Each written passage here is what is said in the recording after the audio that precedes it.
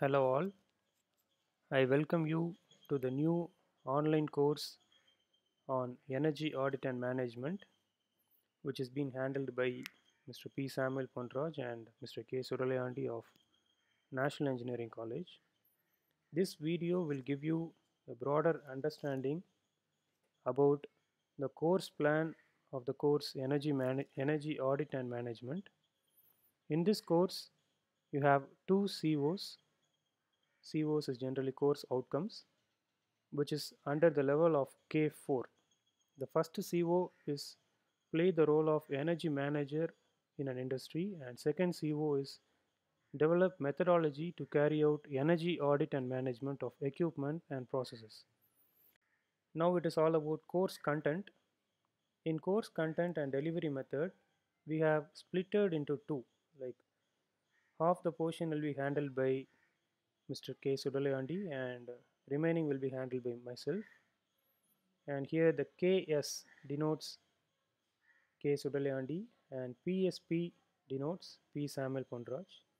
Since it is completely an online course, all the course content delivery method is related to online lectures and PPT. Some of uh, the lecture video lecture materials will be converted into lecture videos and PPTs will be converted as screen recordings. It will be posted and uh, based upon the timetable available, we have mentioned the date for, for the content to be delivered.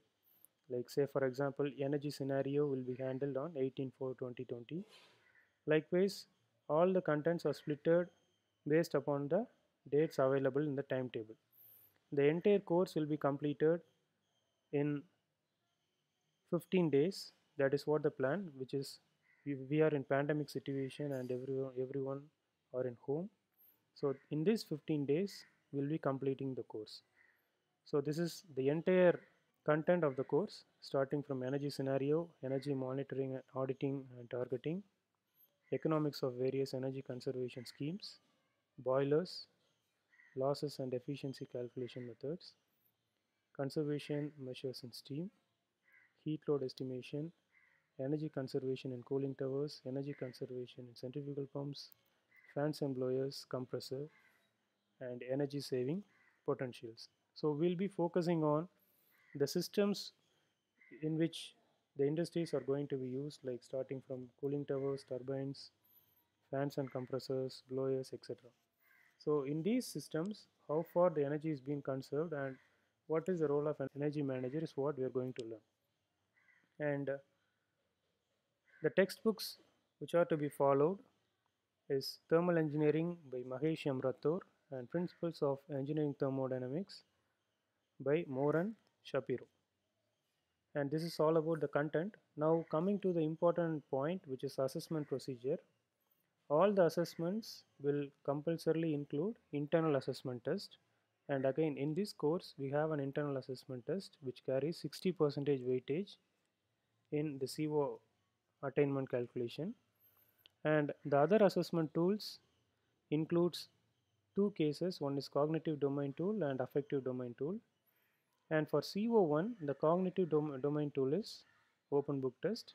And for CO2 it is also open book test. It, it, it includes tutorial problems. And for affective domain we have online viva for both the COs it will be either handled through voice call or any video calls and one more tool is course and survey which is a normal feedback which will be collected for further improvement of the course. And in overall the weightage for internal assessment test is 60 percentage and for other assessment tools it is 40 percentage. So for the entire course we have one two three and four assessment tools to be followed. One is internal assessment test and second one is open book test third is online viva and fourth is course and survey and for the calculation of internal marks CO1 will carry 30 percentage weightage and CO2 will carry 70 percentage weightage.